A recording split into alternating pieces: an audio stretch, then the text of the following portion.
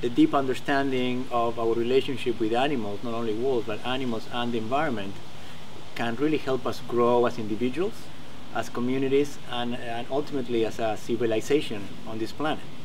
So I envision Wolf Connection to become a, a, a, a beacon of this understanding of our relationship with animals. I just wanted to say, you know, why I chose Wolf Connection and connecting wolf dogs with foster youth, especially teenagers, and foster youth alumni, adult adoptees, and adopted teens.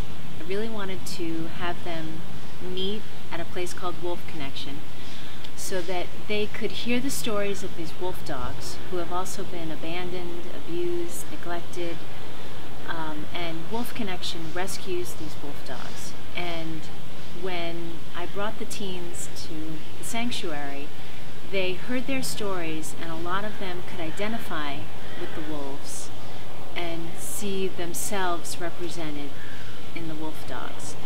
And what I found was when they could identify and then have compassion for these wolf dogs, they then, in essence, had compassion for themselves and their own stories.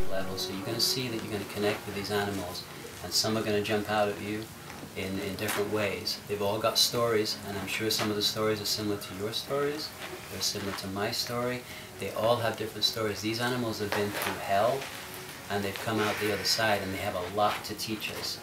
Now, for the first year, we wouldn't let anyone come by him. He was completely, because he would just go crazy. He was very afraid of people.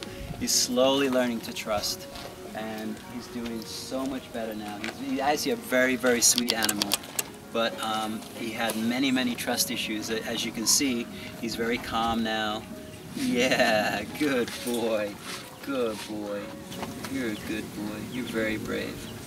She had a brother, and her the backyard was covered in just feces, and it was the, they thought they had diseases. The brother had dug a hole in the yard and gone in the hole and never came out. There was just flies coming out of there, so they assumed he was dead.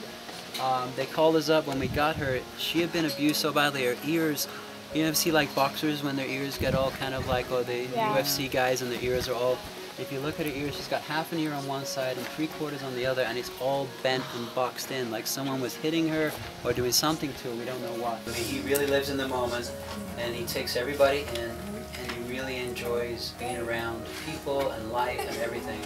He's a great teacher about that because he could easily sit in a corner and sulk all day because he's got a bad leg and he can't run anymore and he's in pain. But he doesn't. All he wants to do is love people. Thank you. This day has meant like everything to me to be with everybody here that's adopted. I've waited a long time, probably for this moment. Everybody deserves that chance of being happy and actually everybody should have happiness but you guys make the wolves happy and you made us happy today. And I made a big mistake. And today I feel like that wound has been healed and you know there've been so many healings